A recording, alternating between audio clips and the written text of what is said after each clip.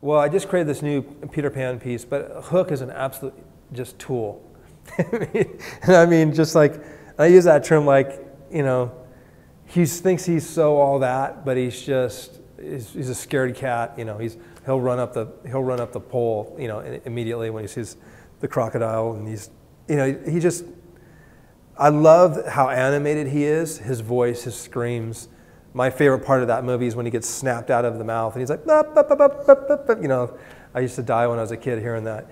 Um, I love uh, the old classics from the standpoint of um, the way that they're rendered, whether they were done in oil, whether they're done in watercolor. You look at Snow White, you look at Lady and the Tramp, you look at these backgrounds. Like people are looking at the characters. I'm literally studying the background, lighting, bounce. How did they paint that porch?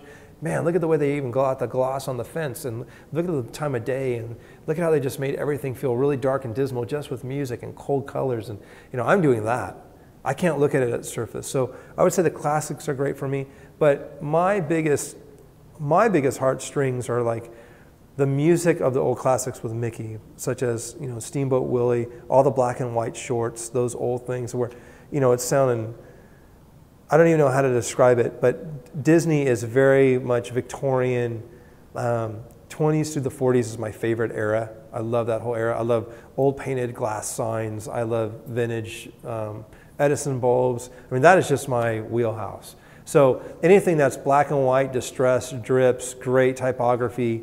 Um, but I try to take, like I just did this newest image for Disney Cruise Lines where it's called um, Bath Time with Captain Mickey and it's him playing in a bathtub, but this black and white image was, you know, it's line art typically. I love taking old line art, great classic Disney, but rendering it between Pixar and that.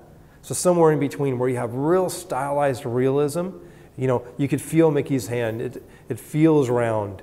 You can almost imagine what the material is made out of. Are his arms made out of rubber? Does it feel squishy? Does he feel like a plush, like a stuffed animal? Or does it feel plasticky? Does it feel real rubbery and cool? So I try to make it a little bit more contemporized, but totally heralding the legacy and, and the roots of what made Disney Disney, that classic great feel. And I will say, like I just saw um, Oz, and the opening title graphics for the movie were astounding.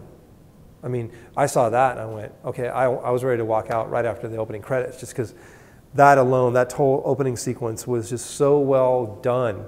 And to me, it was very well done in a Disney style, but also heralding the legacy, if that makes sense. Hey everybody, thanks for stopping by and watching BeliefNet. Um, it's been great being here. Appreciate you watching. You can also uh, check up keep in touch on my Facebook, Twitter, and Instagram, and my website, noahfineart.com, and I can be found on social media with Noah Fine Art. Thanks for watching, and glad you were here.